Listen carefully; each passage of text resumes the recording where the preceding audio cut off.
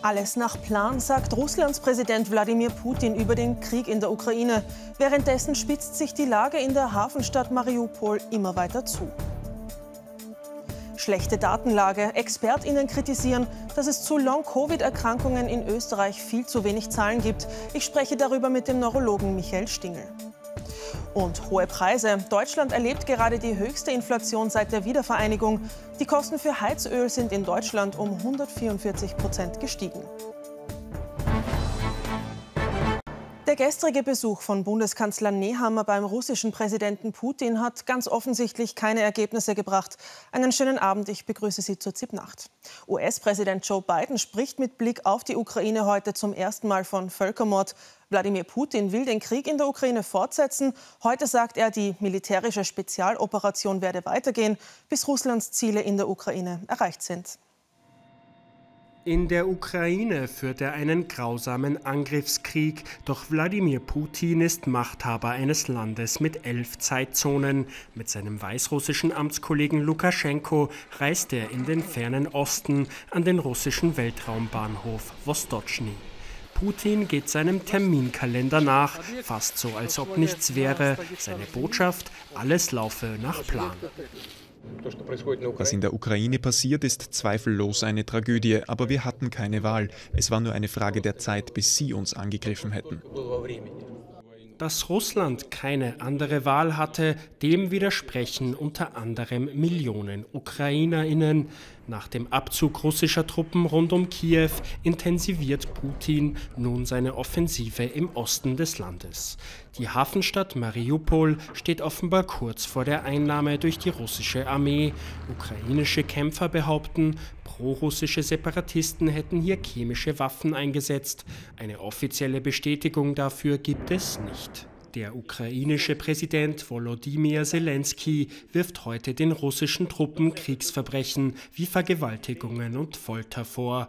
Allein im Kiewer Vorort Butscha wurden seit Abzug der russischen Truppen bislang 403 Leichen gefunden. Die dunkelsten Stunden im Ukraine-Krieg stehen möglicherweise noch bevor. Und damit kommen wir nach Österreich und zur Corona-Pandemie. Das nationale Impfgremium hat heute eine Empfehlung für den vierten Stich ausgegeben. Die gilt vorerst aber nur für Risikogruppen. Darunter fallen alle Personen über 80 sowie über 65-Jährige mit Vorerkrankungen. Was in der Diskussion rund um Impfen und Corona laut Fachleuten zu kurz kommt, ist Long-Covid. Die sozialen und medizinischen Folgen der Erkrankung könne man kaum abschätzen, so die Kritik von Arbeiterkammer und der österreichischen Gesundheitskasse. Der Grund dafür sei die schlechte Datenlage.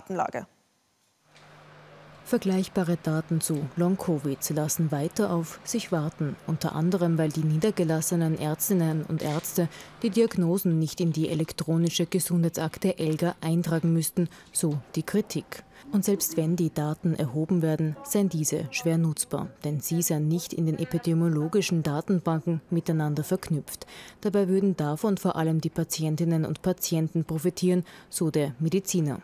Überall werden Daten erhoben und gesammelt und wenn die nicht verknüpft werden, sind sie ja relativ wertlos. Sie sehen jemanden in der Klinik, sie entlassen ihn, sie wissen gar nicht, was aus ihm wird. Und dann können wir auch nichts lernen natürlich, was den Bereich angeht. Es geht darum, Hürden abzubauen, damit man sie miteinander verbinden kann, um dann nachher anonym, sodass niemand Rückschlüsse drauf ziehen kann, wer diese Person ist natürlich, aber auswerten kann und schauen kann, welche Therapie ist jetzt hier die beste. Mögliche Daten gebe es jedenfalls genug. Allein in den vergangenen zwölf Monaten sind 46.000 Krankenstände bei der österreichischen Gesundheitskasse wegen Long-Covid eingemeldet worden. In unserem Interviewstudio begrüße ich dazu jetzt den Neurologen Michael Stingel. Einen schönen guten Abend. Grüß Gott. Herr Dr. Stingel, Sie sind spezialisiert auf Long-Covid. Wo sehen Sie denn die größten Versäumnisse im Umgang mit dieser Krankheit? Naja, ein großes Versäumnis ist klarerweise, dass wir nicht einmal wissen, wie viele Leute es betrifft. Das war ja auch im Prinzip der Inhalt der Forderung heute, dass wir endlich nach zwei Jahren Pandemie äh, uns aus dieser Schockstarre lösen sollten, dass es Long-Covid gibt und wirklich beginnen sollten, mal zu schauen, wie viele Leute anhaltende Probleme haben nach einer Corona-Infektion. Wir arbeiten momentan komplett ins Dunkel hinein. Und natürlich, wenn man nicht genau weiß, wie viele Leute es betrifft, tut man sich halt auch schwer, entsprechend sich zu überlegen, wie eine Versorgung ausschauen sollte. Und natürlich ist auch momentan ein riesengroßes Problem, dass viele der Leute, die es betrifft, auch durch die sozialen Netze fallen, weil sie einfach nicht adäquat abgesichert werden. Mhm. Wovon sprechen wir denn überhaupt, wenn wir über Long-Covid reden? Also was sind genau die Symptome? Wie wird das abgegrenzt? Das ist eine sehr gute Frage. Es ist auch da, und das ist jetzt nicht nur ein Versäumnis in Österreich, sondern generell, dass wir nach zwei Jahren noch immer rumrätseln, was Long-Covid eigentlich ist, wo sehr viel in einen Topf geworfen wird, äh, Folgeerkrankungen, die Corona hat, die erwartbar sind, wie eben äh, Einschränkungen nach schwerer Lungenerkrankung, nach Intensivaufenthalt und auch Dinge, die überraschend kommen, wie die Tatsache, dass viele junge Leute einfach von basalsten äh, Alltagsaktivitäten schon überfordert sind. Es ist insofern nicht wirklich überraschend, weil es das chronische Erschöpfungssyndrom MECFS schon lange gibt. Das wurde halt über die Jahre irgendwie ein bisschen stiefmütterlich behandelt. Hätte man sich damit mehr befasst, wäre es jetzt nicht so eine große Überraschung gewesen. Ähm, es ist sicher auch eine Frage der korrekten Definition. Ich persönlich würde Long-Covid als das bezeichnen, was diesem klinischen Bild von MECFS äh, ähnelt, wo eben sehr banale Dinge des Alltags schon zu viel sein können. Mhm. Aber das heißt, was sind jetzt ganz konkret die Forderungen? Also was braucht es, damit es vor allem den Betroffenen besser geht? Wir brauchen eine gute Definition. Das ist sicher nicht Sache allein in Österreich. Wir brauchen Zahlen, damit man ungefähr erheben kann, wie groß der Bedarf ist. Wir brauchen endlich ein systematisches Vorgehen, das über die ganz gute ÖGAM-Leitlinie, die es gibt für die Allgemeinmedizin hinausgeht. Und wir brauchen auch ein ganz klares Bekenntnis, dass man sich, solange diese Leute rekonvaleszent sind, solange sie brauchen, bis sie wieder an den Arbeitsplatz zurückkehren können, dass es auch eine soziale Absicherung gibt. Mhm. Sie haben jetzt den Arbeitsmarkt schon angesprochen. Wir haben Sie im Beitrag schon gehört, über 46.000 Krankenstände sind da schon gemeldet worden. Ähm, aber mit dem ist es ja meist noch nicht erledigt. Also welche Auswirkungen auf den Arbeitsmarkt können Sie denn jetzt schon beobachten? Ich kann es Ihnen nur sagen aus meiner Ordination. Ich sehe sehr viele Leute, die nicht im Krankenstand sind, weil sie arbeiten, weil sie halt die letzte Kraft, die sie haben, so quasi in die Arbeit investieren, die das durchdrücken können, weil sie im Homeoffice sich die Pausen besser einteilen können, weil sie Stunden reduziert haben und weil sie halt jegliche Freizeit äh, dann opfern, um sich zu erholen von, von, von, von den oft reduzierten Arbeitsstunden. Ich, glaube, was auch ein Punkt ist, wenn man sich überlegt, dass von diesen dreieinhalb Millionen circa Infektionen in Österreich äh, zwei Millionen in diesem Jahr alleine passiert sind, was da möglicherweise noch auf uns zukommt, auch wenn die Impfung hoffentlich äh, das Risiko für Long-Covid reduzieren sollte. Mhm. Besteht denn aus Ihrer Sicht die Gefahr, dass eine ganze Generation an Menschen mit Folgeerkrankungen aus dieser Situation herausgehen könnte? Ich glaube, das kann man jetzt noch nicht wirklich sagen. Ich kann nur sagen, ich kenne Leute in ex exakt gleicher Situation, die mit MECFS seit Jahren, teilweise seit Jahrzehnten äh, komplett aus ihrem Leben rausgerissen wurden. Und nachdem sehr viel von dem, was man als Long-Covid bezeichnet, diesem MECFS ähnelt, ist natürlich anhand der höheren Infektionszahlen irgendwie zu befürchten, dass es ein Problem werden wird. Mhm, aber das heißt, wie könnte denn der Arbeitsmarkt, wie können Arbeitgeber, Arbeitgeberinnen jetzt schon darauf reagieren, um die Situation im Endeffekt für alle Beteiligten besser zu machen? Es ist in meiner Erfahrung für viele Leute sehr gut, diese Tatsache, dass es eine Wiedereingliederungsteilzeit gibt, dass man mal mit reduzierten Stunden zurückkehren kann. Aber natürlich ist das nicht in jedem Job möglich, es ist nicht in jedem Job möglich, Homeoffice zu machen.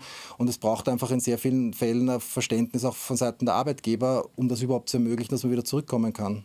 Mhm. Sie haben äh, schon angesprochen, dass Long-Covid äh, ja vor allem auch jüngere Menschen betrifft. Äh, wie schaut es denn aus mit Kindern?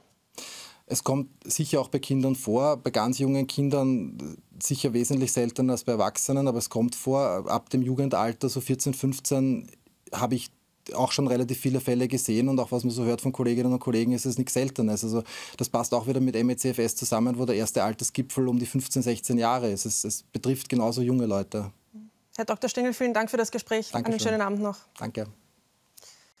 Und damit wechseln wir das Thema. Das tägliche Leben wird teurer, das merken wir alle. In Deutschland sind die Preise so stark gestiegen wie seit über 40 Jahren nicht mehr. Mit einer Inflation von 7,3 Prozent hat das Nachbarland den höchsten Teuerungswert seit der Wiedervereinigung erreicht.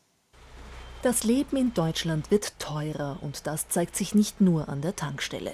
Benzin und Diesel sind inzwischen 50 Prozent teurer als im Vorjahr. Die Kosten für Heizöl sind sogar um 144 Prozent gestiegen. Und auch für Lebensmittel müssen die Deutschen inzwischen 6 Prozent mehr zahlen als noch im März des Vorjahres. Gemüse ist um 15 Prozent teurer geworden, einige Speiseölsorten sogar um 30 Prozent. Die Deutschen erleben die höchste Inflation seit mehr als 40 Jahren.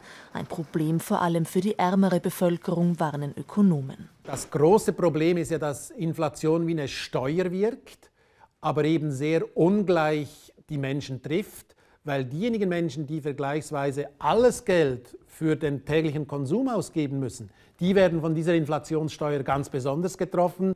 Und viel billiger wird es wohl so schnell nicht werden. Für heuer rechnen deutsche Ökonomen mit einer durchschnittlichen Teuerungsrate von mehr als 6 Prozent. In Südafrika haben starke Regenfälle mehrere Schlammlawinen verursacht. Mehrere Verkehrswege sind überschwemmt, Häuser und Brücken sind eingestürzt. Laut Medienberichten dürfte es fast 60 Todesopfer geben. Erschwert wird die Situation durch Stromausfälle und veraltete Infrastruktur, die die Wassermassen nicht mehr aufnehmen kann. Das Unwetter trifft die Bewohner hart. Ich habe nichts mehr, wo ich hingehen kann. Ich weiß nicht, wo wir jetzt schlafen sollen, sagt dieser Mann. Befürchtet werden Schäden in Millionenhöhe. Eine positive Nachricht gibt es heute vom Frauenfußball. Das österreichische Nationalteam hat in der WM-Qualifikation 8 zu 0 gegen Lettland gewonnen. Damit ist fix, dass die Österreicherinnen im Playoff um ein WM-Ticket sind. Und damit kommen wir zum Wetter, das zumindest vorerst frühlingshaft bleibt. Morgen gibt es viel Sonne in der Osthälfte Österreichs. Etwas dichtere Wolken ziehen im Westen durch. Mit föhnigem Südwind wird es teilweise sehr warm, mit Höchsttemperaturen von bis zu 25 Grad. Pünktlich zu Ostern geht die Temperatur dann doch zurück. Nach etwas Regen am Karfreitag zeigt sich am Ostersonntag aber wieder länger die Sonne. Damit sind wir am Ende der Sendung angelangt. Das war die letzte ZIP des Tages. Wir wünschen eine angenehme Nacht.